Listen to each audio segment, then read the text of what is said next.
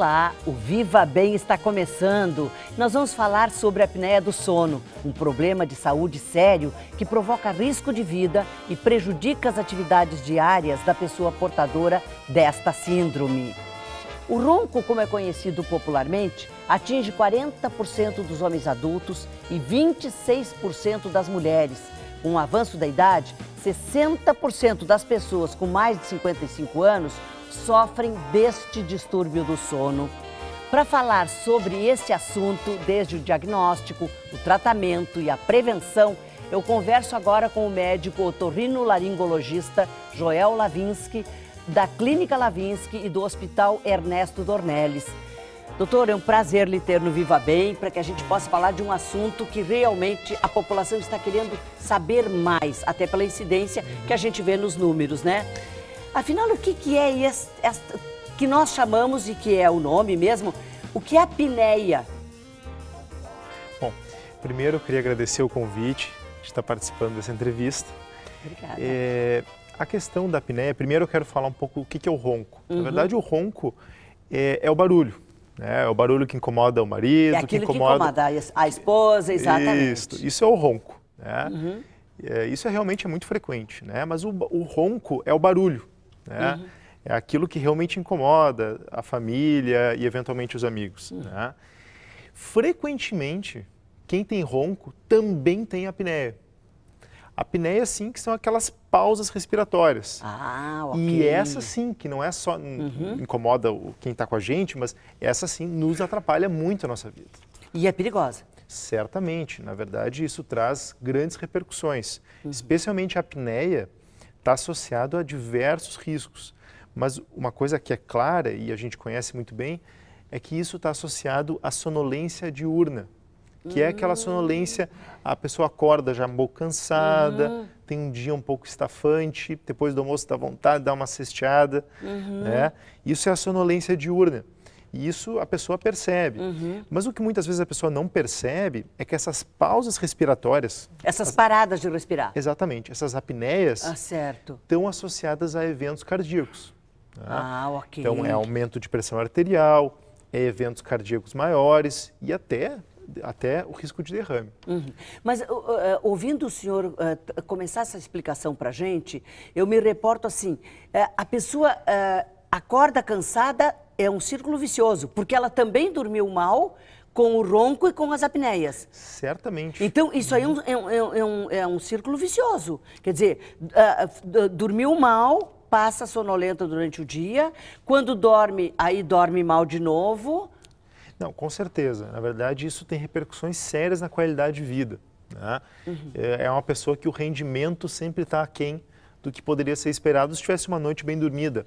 Às vezes a pessoa até dorme o número de horas adequados. E não se dá conta que ela foi mal dormida Exatamente, exatamente. Acorda cansado. Você dormiu oito uh, horas, e, mas acorda realmente pareceu que dormiu uma, duas horas. Uhum, né? Isso é muito frequente. Claro. E isso está associado à apneia, uhum. que pode, que frequentemente tem o ronco junto, que é o barulho. Uhum. Né? Menor ou maior, sempre incomoda.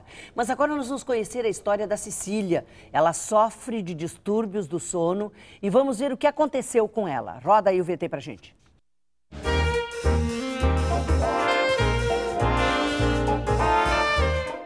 Cecília conta que há cinco anos começou a dormir mal. Acordava muitas vezes durante a noite notou que algo não ia bem. No outro dia me sentia muito cansada, não conseguia trabalhar direito.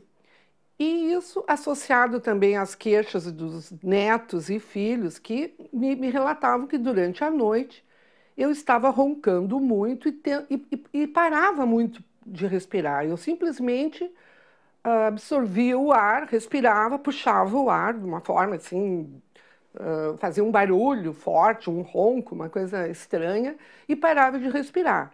O que, que acontecia? Nesse momento que eu parava de respirar, eu acordava.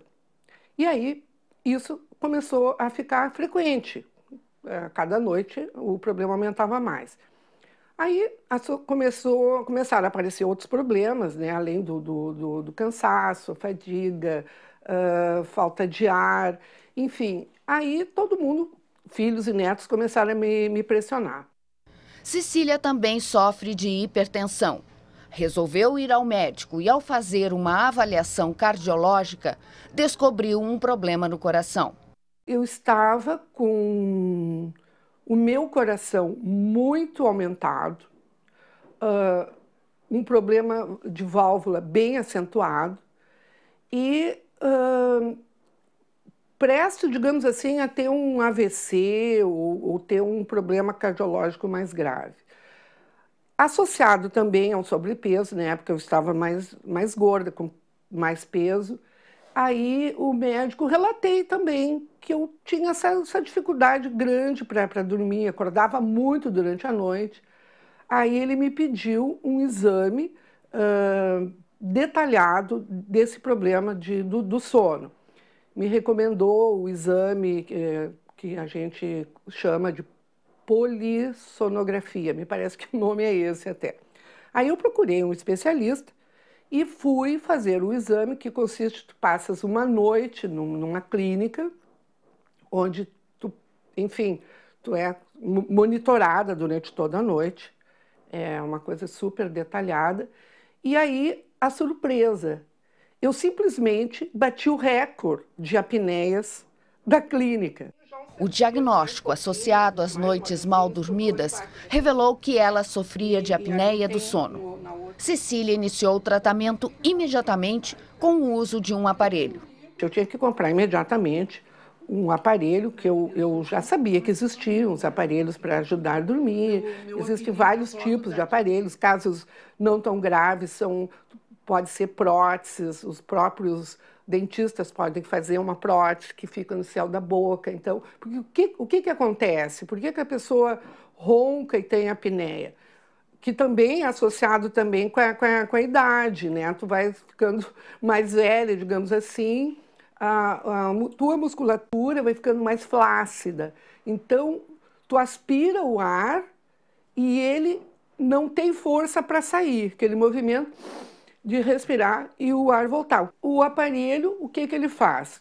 Ele é um aparelho que é ligado à luz ele funciona quase como um oxigênio, quase como um tubo de oxigênio. Ele ajuda, o ar entra com uma força X, que aí a, a, a quantidade de ar é determinada pelo médico, de acordo com o teu caso, né? Cada caso aí tem tipo uma, uma rotação, uma, enfim, uma intensidade do ar, e o ar entra com uma força X, digamos assim, e ele vai com aquela força, como ele entra forte, ele volta, ele faz tu inspirar e, e pôr o ar para fora de uma maneira normal. Na primeira noite com o uso deste aparelho, Cecília dormiu nove horas seguidas. Eu acordei numa felicidade que eu liguei lá para pro, pro, a clínica e eu eu cheguei a chorar, fiquei emocionada, porque eu dizia assim, gente, eu não tô, eu tô, eu tô assim feliz porque eu eu estava apavorada, eu, eu, estava achando assim, digo, puxa, mas eu vou, eu vou morrer, porque eu, como é que eu vou continuar assim, né? E foi uma coisa assim inédita. Eu não tive o mínimo problema de adaptação e a partir dali, associado a um tratamento paralelo de perda de peso, uh, de um controle maior do meu problema cardíaco, a minha vida mudou radicalmente. Uh, eu passei a dormir né, muito melhor. Pois é, a gente ouvindo aí esse caso, né, ouvindo o relato da, da Cecília, que se dispôs a, a, a, realmente colaborar muito com a gente, agradecemos aqui a ela, né, expor o seu caso e essa felicidade, doutor. Todas as pessoas têm os mesmos sintomas. É, ela, ela disse, parece que ela ouviu o senhor falar aqui primeiro, né? O cansaço, essa indisposição, né? É, o caso da Cecília é um caso muito clássico, né? É um uhum. caso muito comum, assim, e os sintomas que ela relatou são sintomas muito comuns que a gente ouve no consultório, né? Mas a Cecília eh, eh, pontuou alguns, algumas questões do caso dela que são realmente muito relevantes, né? Certamente um dos aspectos, além da questão da idade, mas certamente a questão do peso da, ah, da, do, o da, sobrepeso, do sobrepeso, não precisa nem ser obeso. Nem precisa ser, ser, obeso. O sobrepeso já está associado a uma piora desses sintomas. Ah, Certamente o peso é o protagonista. Né, digamos assim, dessa história toda, uhum. é o protagonista. Isso né? não dá em pessoas magras? Dá em pessoas magras. Ah, ó. Dá em pessoas Perfeito. magras, com certeza, uhum. especialmente se elas têm alguma coisa obstruindo. Ah, Isso okay. em pessoas magras. Certo. Em pessoas com uh, um excesso de peso, é, isso acaba tendo um papel importante. Tanto é que essas pessoas, muitas dessas que estão acima do peso, quando estavam, ah, eram mais jovens e não, não, não tinham sobrepeso, uhum. não tinham obesidade, não roncavam. Uhum. A partir de uma certa idade que aumentou um pouco o peso, isso veio aparecendo mais. É um somatório né? de fatores, a idade, sobrepeso, né? Com... É, ambiente do sono também influencia, doutor? Com certeza. Na verdade, assim, o que eu falo é que o ronco e a apneia é um monte de coisa misturada uhum. que a repercussão disso é a, a apneia. E esse monte de coisa misturada, uma delas é o peso, a outra dessas é outra outra dessas questões é a questão da idade, uhum. outra questão eventualmente de o nariz não funcionar muito bem, ou outra coisa, é, a pessoa ingerir bebida alcoólica à noite, por exemplo. Né? Faz diferença. Certamente faz. Jantar um pouco tempo antes de deitar também. Certamente isso também tem impacto, porque tudo que leva a uma maior flacidez, digamos, um relaxamento maior, uhum. repercute na apneia. Uhum. Por exemplo, bebida alcoólica é um, tra, tra, traz um grande relaxamento na musculatura. E isso aumenta a apneia, aumenta a flacidez e aumenta Ou seja, a aumenta os riscos. Certamente. A questão do, da alimentação também. Se a gente deixa para jantar e logo vai direto para dormir, isso está associado também a um maior relaxamento uhum. da musculatura e maior apneia. Né? Uhum. Outro, outra questão é a questão, por exemplo, de uso de remédios para dormir, ah, os okay. ansiolíticos. Uhum. Isso também faz um grande relaxamento na musculatura. Então, é uma série de fatores que tão, estão relacionados e eles, em conjunto, geram a apneia do sono. Por isso que quem está realmente com esse problema tem que procurar um especialista, né? Nada, um caminho nada, nada melhor do que este caminho para melhorar a sua vida. Nós vamos a um pequeno intervalo, nós já voltamos para falar mais sobre este assunto, a apneia do sono.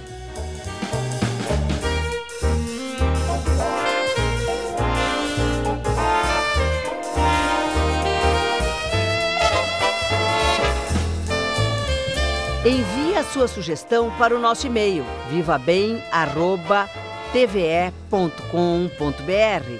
Entre em contato com a nossa produção pelo telefone 51 32 30 15 32. Compartilhe suas experiências no nosso Facebook www.facebook.com/barra programa Viva Bem. Continuamos conversando com o médico otorrino-laringologista Joel Lavinsky, da Clínica Lavinsky do Hospital Ernesto Dornelli, sobre o ronco, sobre a apneia, né? Feito o diagnóstico que a pessoa tem apneia, doutor, é, e que está associada, né, ou o ronco está associado à apneia, a gente não sabe exatamente, eu não sei qual é o que vem primeiro, mas essas questões todas quando o paciente é, toma posse dessas informações. Me chamou a atenção que a Cecília, ela sabe muito sobre o problema que uhum. ela, posso dizer, ela tinha o problema, é. ela continua tendo, mas agora controlado? É. é a questão importante é o diagnóstico. Uhum. Né? É, tem duas fases que eu acho relevantes do diagnóstico. Tá? Um primeiro é saber a gravidade. Ah, saber se uhum. ela faz mais barulho, faz mais ronco, ou se ela faz apneias mais graves. Que era o caso dela, fazia mais apneias. Sem dúvida. Então, essa diferenciação é super importante, até para a gente ter a noção de qual tratamento a gente vai poder orientar. E o outro aspecto relevante é o diagnóstico médico também, é, de qual é a causa. É a obesidade o fator predisponente? Não, não. É alguma coisa obstruindo a via aérea, por exemplo, uhum amígdalas grandes, por exemplo. Ou, por exemplo, um, um desvio de septo, alguma coisa. Tem a ver assim. com a assim. hipertensão? Ela falou hipertensa. Ela já era hipertensa e aí pela hipertensão dá isso? É, a apneia tá, está associada sim à uh, hipertensão arterial. Ah, né? ok. Que pode levar a doenças cardíacas. Certamente. Tá. Certamente. Então, ela fez, ela comentou de um exame que chama polissonografia, hum. que é um exame fundamental. Eu falo que é o hemograma do ronco. Né? Ah, ok. Ele, que dá um mapa. Eles nos dá uma ideia muito fiel de como é que está, que está acontecendo. Né? Que ela comentou uhum. que a pessoa passa a noite no laboratório do sono, E a gente tem informações super relevantes desse exame que a gente acaba usando até na hora de indicar o tratamento adequado. Uhum. E a segunda parte, como eu comentei antes, é o diagnóstico médico de qual é a causa. Ah, né? ok. Se existe alguma coisa óbvia e, e, notória, nós vamos abordar a causa muitas vezes. Uhum. Ou se, por exemplo, a questão da obesidade, bom, a gente, nós podemos orientar alguma coisa do ponto de vista nutricional. Né? Mas esse diagnóstico é muito importante para dizer para a pessoa, olha, a senhora tem apneia e o tratamento é X, Y, Z. Isso acaba juntando duas informações relevantes, que é o exame da polissonografia e o exame médico de diagnóstico ah, da causa. Perfeito, claro. O que a gente tem que entender, né, e vocês gostam quando eu chamo a atenção aí, é a questão de que as pessoas que estão passando por esse problema não se incomodem pelo que os familiares estão dizendo. A Cecília disse desde os netos, né? Quer dizer, ouvir quem gosta da pessoa e quem está diariamente, quem tem uma convivência com essa pessoa.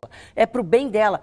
A, prevenção pode ser feita também, doutor? Tem gente que em casa deve estar se perguntando: bom, mas eu ainda não estou passando por isso. Como é que eu previno para que eu não chegue lá? É. Como eu falei antes, a apneia são vários fatores envolvidos é um na somatório. apneia. É um somatório. Okay. É, certamente, como eu comentei antes, a obesidade tem um papel importante. Então, primeira coisa, não uh, diminuir esse sobrepeso e que uma obesidade. Certamente. Outra questão... A idade não dá para diminuir, doutor. Não, não dá. a idade, graças a Deus, só vai avançando. É, certamente. O que vai complicando. É. Brincadeiras à parte, vai complicando, né? É, sim, sim. A idade avançada está associada a uma piora das apneias, especialmente porque aumenta a flacidez né, ah, de toda okay. a musculatura. Uhum. Então, também essa é uma das causas. A outra questão que pode ser feita em casa de maneira simples é tentar uh, ter uma alimentação um pouco mais leve à noite. Não ah, abusar. Okay. E é, mais cedo. E um pouco mais cedo, se possível. Ah, perfeito. Né? Uhum. Então, ter um, um, rigor alimentar, não uh, comer demais antes de dormir, não ir direto para a cama.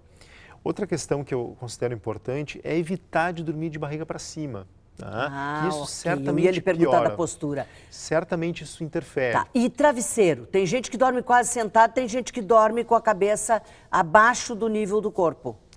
Tem a ver? É, não, o travesseiro alto ou baixo tem pouca influência. O que mais tem influência na questão da postura é ser de, em supina ou em decúbito lateral, ou seja, de barriga, barriga para cima, cima, ou de é lado. certamente pior. Tá. E de barriga de lado diminui de forma substancial a quantidade de apneia. Uhum. Até eu brinco com os pacientes, alguns deles eu, eu oriento a, a, tentar de alguma maneira dormir de barriga de lado. E uhum. isso às vezes a gente faz de maneira simples em uhum. casa. Por claro. exemplo, tem pessoas que, que fazem, eh, costuram eh, um par de meia na, no pijama e colocam duas bolinhas de tênis nas costas. Ah. Isso acaba não atrapalhando o sono e a pessoa se, se policia.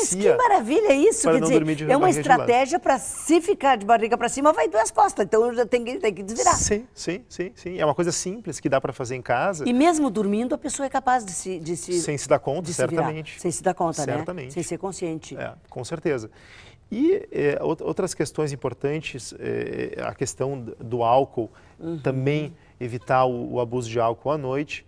É, e pessoas que estão muito cansadas à noite, chegam muito exaustas em uhum. casa, tendem a ter apneias uhum. mais graves uhum. e isso tem que também, de alguma forma, ser, uhum. ter que ser controlado. Claro. É. É, agora eu quero lhe perguntar o seguinte, e, e, o parceiro ou a parceira que está ao lado, é, a gente acorda uma pessoa quando a gente nota que ela faz isso, né? Aquilo assim, é a apneia? É.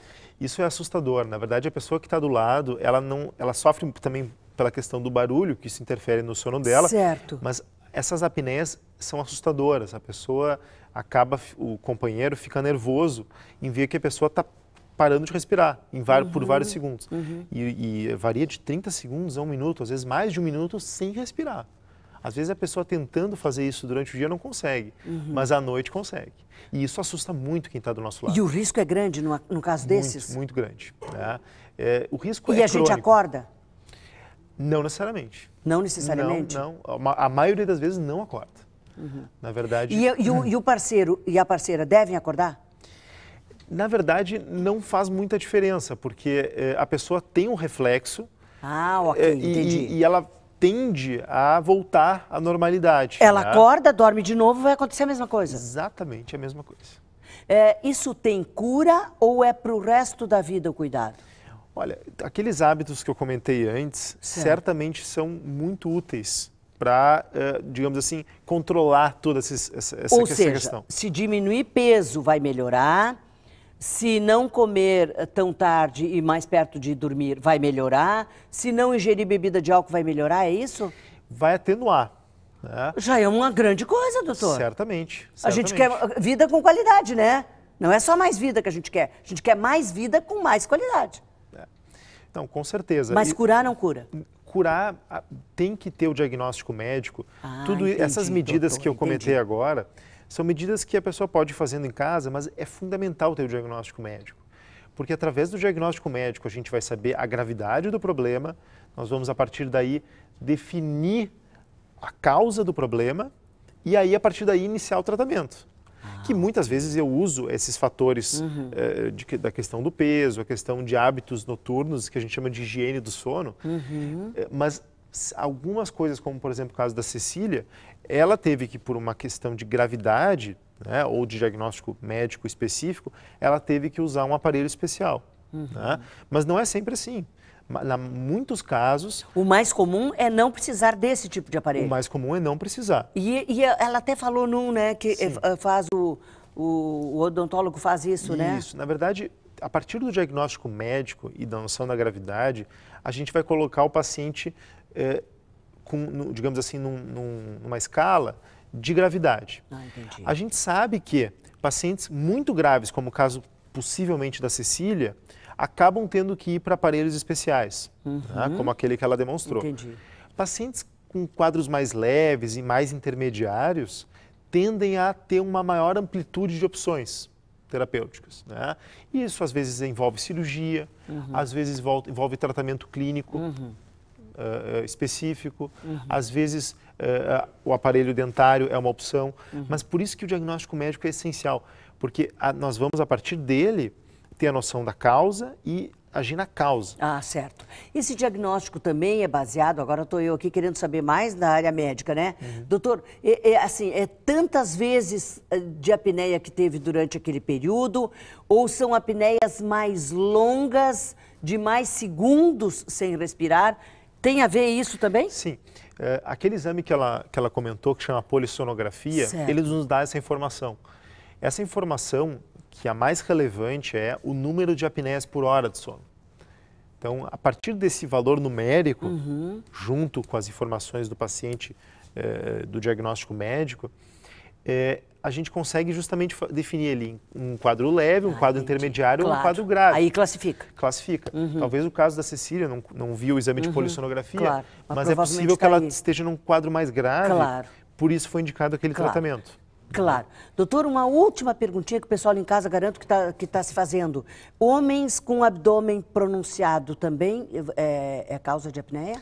Cai na mesma questão da obesidade. Cai na mesma questão, é, tá certo. A obesidade é, eu sempre falo, é o uhum. protagonista da história do ronco Exatamente. Ouviram, gente? A gente aqui trabalha com mais vida, com mais qualidade. Doutor, muito obrigado pela entrevista. Muito obrigada mesmo. Com certeza o pessoal vai adorar o programa. Se pedir, se eles pedirem, a gente lhe traz de volta ao programa. E vamos terminar de mãos prazer. dadas. Aqui, esta mão aqui, para que assim, ó, assim a gente resolve os conflitos com mais facilidade, né, doutor? Com certeza. A gente, quando precisar de ajuda, busque.